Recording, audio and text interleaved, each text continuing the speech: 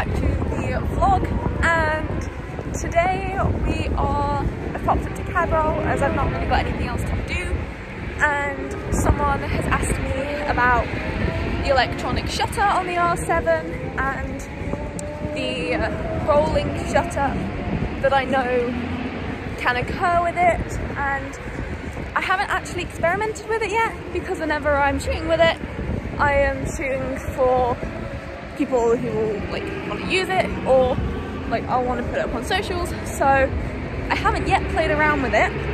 I always use the mechanical because when I was looking into the R range for Canon I was already aware of the rolling shutter aspect. So I got advised to use the mechanical one. So that's the plan today. I'm just heading over to a spot that I don't usually shoot when out and about here. So I'm gonna go give that a go because that should be quite a good one. And yes, so the plan is to shoot, to trial the electronic shutter and to see what the rolling shutter looks like. One thing I have literally just discovered is that I think all this time throughout the season I've been using the electronic first curtain shutter on this which, not gonna lie, is news to me. I was convinced I was using the manual, but not the manual, the mechanical. But looks like I was wrong in that regard. So in terms of electronic first curtain, it's pretty good. I'm happy with it. I'm also gonna give out the mechanical a go today because clearly I've not been doing that. And I wanna see if I can get a better keep delete rate on the mechanical. Um, the electronic shutter just itself, the standard one, like not the first curtain, so far I'm not really having any problems with it. I'm finding it a little tricky to keep a good, uh, to keep a better keep delete ratio, but there's so far there's like nothing too distorted, and I zoomed in to pan and also did a bit of a wide pan as well. I'm gonna head over to Halls for the next couple sessions. I think after lunch, well after the lunch break that happens here, and then try it again there as you're a lot lot closer there and I think if you're gonna get rolling shutter it'll be there. But like on the tight angles so I'm gonna head over there after lunch and give that a go. I'm gonna try out mechanical here and try out a couple more close ones of panning and maybe kind of some like side on ones and we'll get back to you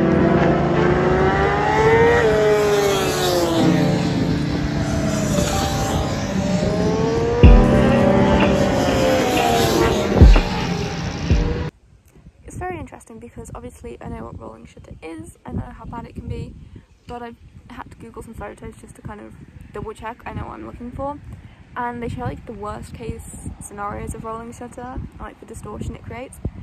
And so far the photos I've been like playing around with, and like I've cranked the shutter right down to like one 125th and one 125th. And it's coping really, really well. Like, it locks on properly, like, the frames per second are incredible. And, like, the focus on the subject, more often than not, is, like, spot on. And the only thing I think I'm noticing distortion-wise is that in different frame, in, like, different images of the, like, the pan and the burst, certain images, like, definitely look a little different to the others but I wouldn't say it's too noticeable. Like some of the ones I've seen, you've got like propellers that are massively out of whack. Some of them don't look like they're in the right place for the blades. And these just aren't looking like that. So, so far it's going quite well. And I think I'll definitely try this out on the content I shoot for, well, when I'm at BSB weekends. As this, like, it's not as high risk as track days track days I'll still use the first curtain even though I have yet to try the mechanical so I'm also gonna give that go. But so far I'm very impressed with the electronic, electronic shutter as I was told well I was under the impression that it very much distorted your images like quite badly. So far I'm very impressed. I'm just sitting here now enjoying the sun um, and then I'm gonna go back sort out CV because I need to sort that. And then try out the mechanical and the electronic again around halls and that side of the track this afternoon. So instead of trying out the electronic shutter over at halls, I am gonna do it on the left-hander just before they go up into the mountain as that is also pretty close so should give me the same effect. I also shoot halls so much so it is a lot nicer to do something a bit different when I don't have to shoot the classic spots. So that's where I'm heading. If I'm being completely honest, I did plan to leave this vlog around the whole electronic shutter at the track day. I tried it out on at Cadwell, but I, as I said in previous clips in this video, I liked it so much that it was so efficient that I was going to try it at BSB as I really I just had a better like hit rate and frames per second. Um, so I've done that and I've tried that in the in the morning sessions today. And I'll still keep using it across the weekend as I do enjoy it and it does make my life a lot, lot easier. But um, I'm just heading back some lunch so I thought I'd do this little update bit now. So the problems I have finding with it is first of all there is only one time I found through briefly going through my photos that there was significant like roll sh um, rolling shutter. I'll add that photo in but that is kind of through a quick look the only time I've noticed is the bike looks a bit fat and it doesn't look as you'd expect the bike to look normally. So we've got that and then the other thing I've noticed is the camera keeps like sticking or kind of freezing. So on a couple of shots I've taken the viewfinder will just stick on like that photo which is kind of weird and I've had to turn the camera off um, and on some occasion and turn it back on again and on some occasions remove the battery and put that back in. The other thing that keeps happening is sometimes it will just like go for a black screen and then you have to turn it off and on again and then re-put the battery in. But I think that just could be because I'm just using the electronic shutter so quickly. I am not too sure, I'm going to try it again this afternoon, but either way my photos are a lot sharper and I do enjoy using it. Those are just a couple of the niggles I found, putting it to a bit of a better test than the odd photo here and there at the track day where I was playing around with it. So in conclusion to the electronic shutter video, which I am not too sure how good a job I did, it did end up kind of going a bit crazy as I ended up trying again at uh, for the BSB and I did find some warping problems with it. I'll add in the photo here of where I really noticed it and the bike looks kind of like fat and stretched and it shouldn't. And then I also noticed it uh, in this one where like pit lane, the wall is kind of slanted, which again shouldn't be the case. But yeah, it's, it's one of those things where I really like it for kind of when you've got a high shutter speed and you're not really panning too much or you're not wanting to get that blur in the background as it is really quick, the frames per second are really, really good.